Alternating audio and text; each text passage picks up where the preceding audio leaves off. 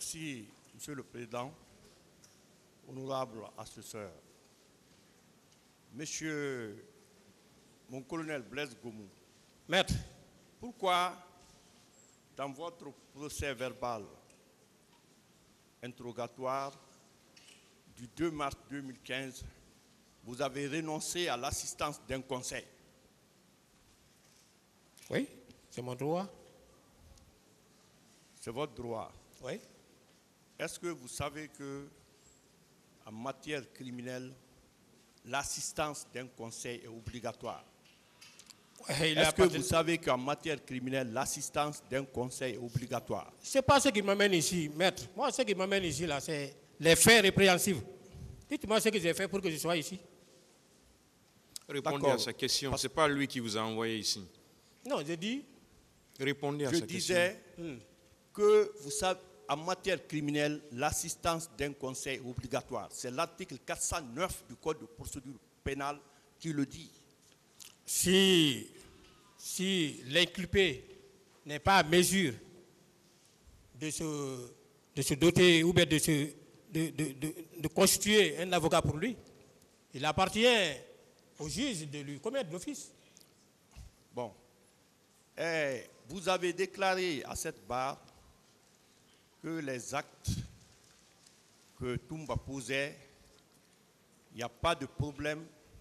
C'est que s'il pose ces actes-là, il se comporte en pré- euh, comment dirais-je, comme le commandant du régiment.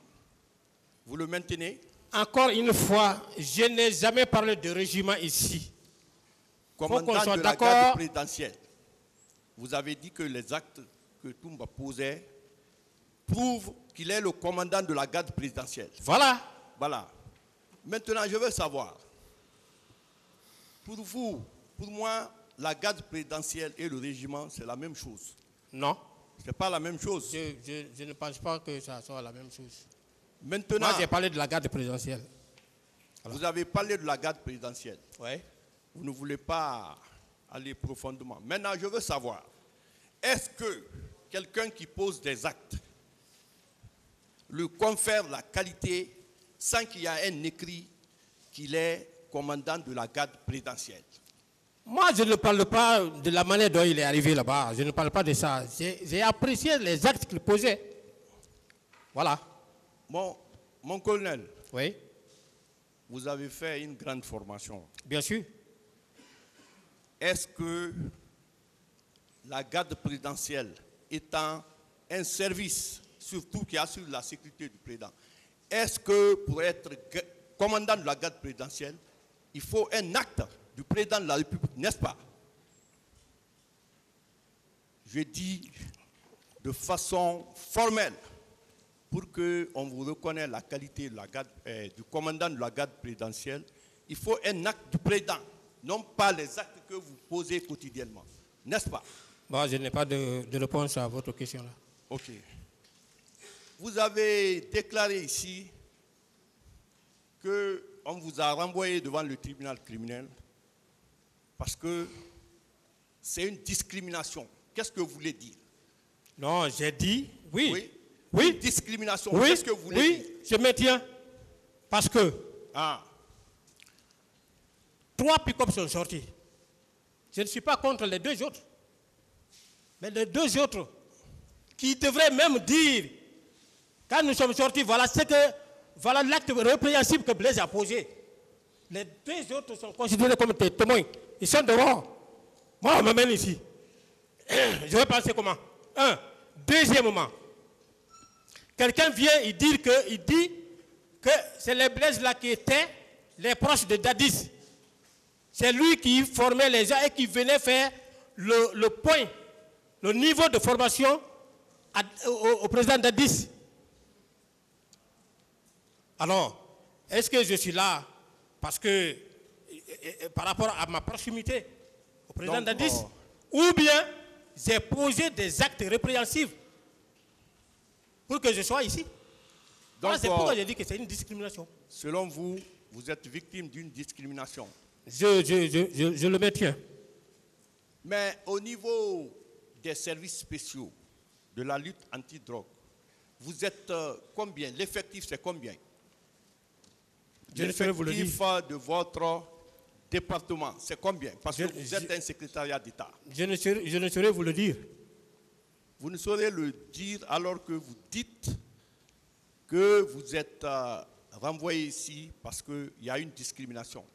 Vous pensez que ceux qui sont au service, ceux qui sont au secrétariat d'État anti-drogue, il y a beaucoup qui ne sont pas là. Ceux qui sont là, c'est vous, le chef et mon colonel Ibrahim Kamara Kalunzu.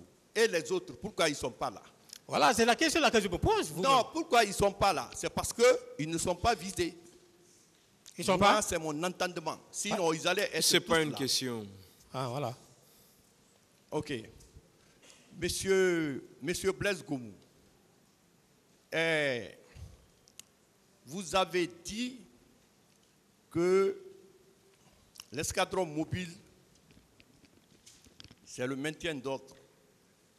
Que les, ex- eh, les escadrons départementaux, c'est pour la sécurité publique générale, n'est-ce pas? Affirmatif.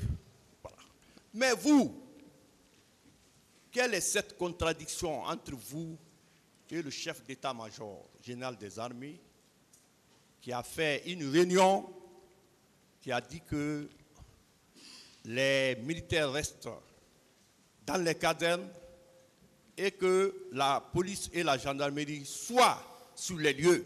Et en même temps, pour ça, c'est à la page 10, c'est à la page 10 du- de la commission d'enquête nationale indépendante. Il est dit que dès 5 heures du matin, 1200 policiers ont été déployés. 1270 gendarmes ont été déployés.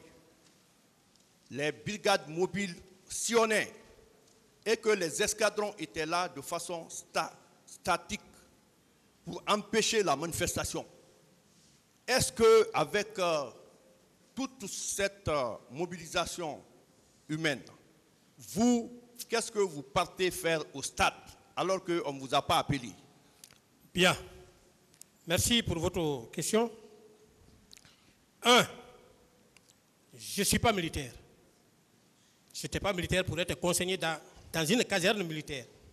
Je ne relève pas d'une caserne militaire. Je suis gendarme. J'ai été désigné en qualité de gendarme pour animer un service. Et je prenais, je prenais ma dotation en tenue à la gendarmerie. Les vendredis, il y avait une députation qui se faisait. On partait prendre euh, euh, les attaches au rassemblement général à la gendarmerie. Donc, s'il y a une mesure qui concerne les gendarmes, mais alors, si vous dites que la mesure doit nous concerner, on va être consigné dans quelle caserne? Il n'y en a pas. On ne peut que peut-être rester dans notre cadre. Bon, Voilà. comme vous le dites, que vous étiez concerné. Maintenant, pourquoi quand vous êtes arrivé sur les lieux, avec l'arrivée de, de Toumba, Diakité, vous avez rebroussé chemin Est-ce que vous avez informé votre chef hiérarchique pour dire que, ah, compte tenu de la situation, moi je rebrousse chemin Parce que l'armée, c'est le commandement, vous relevez d'une hiérarchie? C'est ça la question? Oui J'ai rendu compte à mon chef hiérarchique qui m'a planifié. Vous savez, l'armée, si vous ne respectez pas la hiérarchie, vous créez ce qu'on appelle l'indiscipline. Il veut savoir si vous avez appelé, s'il vous plaît, est-ce que vous avez appelé votre chef hiérarchique pour lui dire que vous rebroussez chemin quand les militaires sont venus? C'est ça votre question? Oui, c'est ça la question. C'est ça la question? Oui, C'est ça, Est-ce ça. que vous avez informé votre chef? Ça, c'est ce qu'on appelle le réflexe du combattant. Le réflexe du combattant.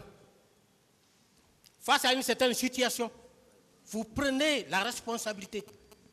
Si le réflexe manque à un militaire, il est sur dans sa mission. Bon, par rapport euh, à votre euh, hypothèse, eh, la commission nationale, la Commission nationale d'enquête indépendante a écrit ici à la page 15 que les manifestants qui ont pris la fuite ont été abattus et que certains manifestants se sont cachés à la CMIS, Compagnie mobile d'intervention de sécurité. Les militaires étaient partis, mais se sont opposés pour dire ceux qui sont rentrés ici ne vont pas sortir. Et vous, vous venez sur un terrain pour maintenir